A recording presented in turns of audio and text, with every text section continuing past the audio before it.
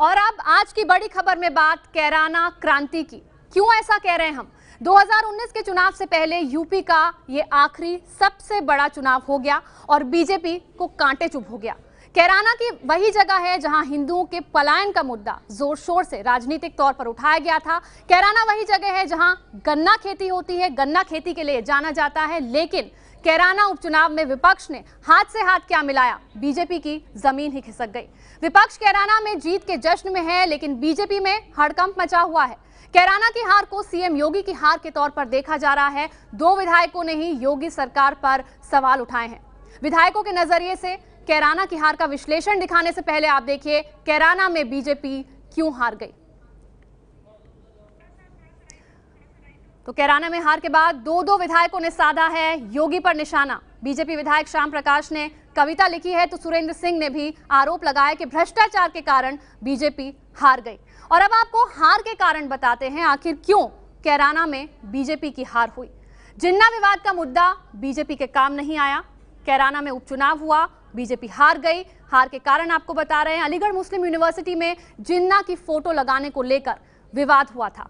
ये आपको याद होगा, लेकिन उसके बावजूद बीजेपी हार गई। बीजेपी उम्मीदवार के खिलाफ विपक्ष की एकजुटता देखने को मिली और ये ज़मीन पर इसने काम भी किया। जाट और दलित बीजेपी से नाखुश हैं और ये नतीजों में देखने को मिला। गन्ना किसानों की नाराज़गी बीजेपी को कैराना में भारी पड़ी। ये एक और बड़ा कारण रहा बीजेपी की हार का। गन्ना किसान बीजेपी से नाराज़ हैं, जिस वजह से बीजेपी कैराना हार गई। गन्ना किसानों की कर्ज माफ़ी पर वादा खिलाफी का आरोप बीजेपी पर लगा। वही महँगा होता पेट्रोल, डीजल भी एक मुख्य कारण रहा कैराना में बीजेपी की हार का। और इसी को लेकर बीजेपी के भीतर हाहाकार मचा हुआ है। और अब पार्टी के भीतर से ही आवाज़ें उठ रही हैं। उपचुनाव में बीजेपी की हार के बाद पीएम मोदी के समर्थक, उनके करीबी ज़फ़र सरेश वाला ने तेजस्वी और कैराना की नवनिर्वाचित सांसद तबस्सुम को बधाई दी है और विपक्ष की एकजुटता की तारीफ़ की है। ज़फ़र सरेश वाला इतना तक कह गए कि सांप्रदायिक ध्रुवीकरण और बांटने की राजनीति अब काम नहीं करेगी। तो कैराना में हार के बाद सवाल उठ रहे हैं। कैराना हार पर मोदी समर्थक ज़फ़र सरेश वाला ने विपक्ष की एकजुटता की तारीफ़ की है। उन्होंने ये भी कहा है कि ध्रुवीकरण और बांटने की राजनीति काम नहीं करेगी। ज़फ़र सरेशवाला, पीएम मोदी के समर्थक रहे हैं और अब विपक्ष की तारीफ़ कर रहे हैं। कैराना जैसे सांप्रदायिक तनाव वाले क्षेत्र से तबस्सुम हसन का बड़े अंतर से जीतना सांप्रदायिक ध्रुवीकरण के सिद्धांत को नकारता है। ये समझना चाहिए कि विभाजनकारी राजनीति काम नहीं करेगी। ये ट्वीट किया है मोदी समर्थक ज़फ़र सरेशवाला ने।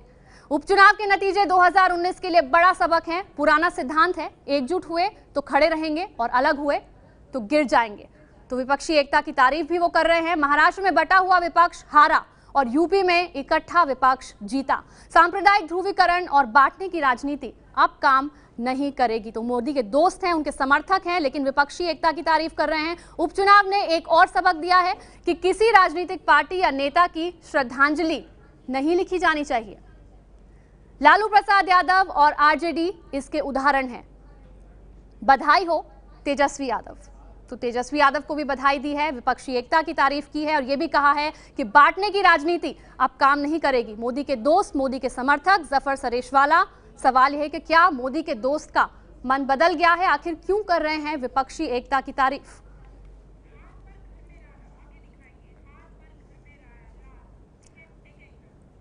तो आज की बड़ी खबर में आपने देखा, कैराना क्रांति में किस तरह पार्टी में हाहाकार मचा हुआ है। आज की बड़ी खबर में हम बात कर रहे हैं कैराना क्रांति की। कैसे उपचुनाव में हार के बाद बीजेपी अपने ही घर में घिर गई है? यूपी उपचुनाव में हार के बाद बीजेपी विधायक श्याम प्रकाश ने बीजेपी के खिलाफ मोर्चा खोल दिया है। गोपा मऊ से विधायक है श्याम प्रकाश और उन्होंने कविता लिखकर कहा है कि मोदी के नाम पर वोट तो मिले, लेकिन जनता का काम नहीं किया। विधायक ने कहा कि पहले गोरखपुर और फूलपुर और अब नूरपुर में बीजेपी का हार हम देख रहे हैं, इसका उन्हें दुख है। कल ही कैराना लोकसभा उपचुनाव और नूरपुर विधानसभा उपचुनाव के नतीजे आए, बीजेपी हार गई थी। और उसके बाद बीजेपी विधायक श्याम प्रकाश ने फेसबुक पर अपना गुस्सा निकाला है एक कविता के ज़रिए। बीजेपी विधायक श्याम प्रकाश ने जिस कविता के ज़रिए अपनी ही पार्टी, अपनी ही सरकार पर हमला बोला है, वो आप देखिए। श्याम प्रकाश ने फेसबुक पेज पर यह कविता लिखी है और गुस्सा निकाला है नूरपुर और कैराना में हार का। सीधा सवाल उठाए हैं, योगी सरकार पर अपनी ही पार्टी, अपनी ही सरकार के खिलाफ मोर्चा उन्होंने खोल दिया है। उन्होंने कहा कि मोदी के नाम पर वोट तो मिल गए, लेकिन जनता का काम आपने नहीं किया। क्या कहा है उन्होंने? देखिए। मोदी नाम से पागे राज, कर ना सके जनता मन काज। संघ संगठन हाथ लगाम, मुख्यमंत्री भी असहाय। जनता और विधायक त्रस्त, अधिकारी अध्यक्ष भी भ्रष्ट। उतर गई पटरी से रेल। फेल हुआ, अधिकारी राज। समझदार को है ये इशारा। आगे है अधिकार तुम्हारा। तो ये वो पंक्तियाँ, ये वो कविता जो फेसबुक पर बीजेपी के विधायक श्याम प्रकाश ने लिखी है, कैराना और नूरपुर में मिली हार का गुस्सा निकाला है। वहीं यूपी के बलिया में बीजेपी विधायक सुरेंद्र सिंह ने यूपी में बीजेपी की हार पर सवाल उठाए हैं। सुरेंद्र सिंह ने कहा है कि इस हार के पीछे शुद्ध रूप से कर्मचारियों और अधिकारियों में फैले भ्रष्टाचार का हाथ है।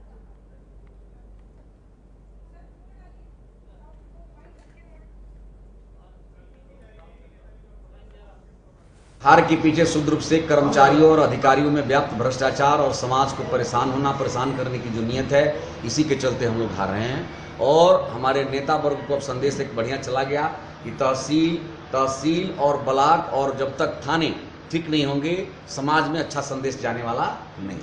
निश्चित रूप से मैं कह सकता हूँ कि जितना सुधार इन जगहों पर होना चाहिए, अभी सुधार उतना नहीं हुआ। तो बलिया से बीजेपी विधायक सुरेंद्र सिंह, जिन्होंने साफ़ कहा कि भ्रष्टाचारी हैं, ज़्यादातर अधिकारी, और इस भ्रष्टाचार के चलते ही बीजेपी की हार हुई। बीजेपी के विधायक एक एक करके आपने देखा कैसे बीजेपी की हार पर सवाल उठा रहे हैं। योगी सरकार पर और अपनी पार्टी पर ही, पार्टी के खिलाफ वो मोर्चा खोल रहे हैं। कोई कविता लिख रहा है तो कोई ये कह रहा है कि भ्रष्टाचार के चलते ये हार हुई। यानी कैराना में हार के बाद बीजेपी में मचा हुआ है हाहाकार, और इसको हम कह रहे हैं कैराना क्रांति। ये है एबीपी न्यूज़। आपको रखे आगे।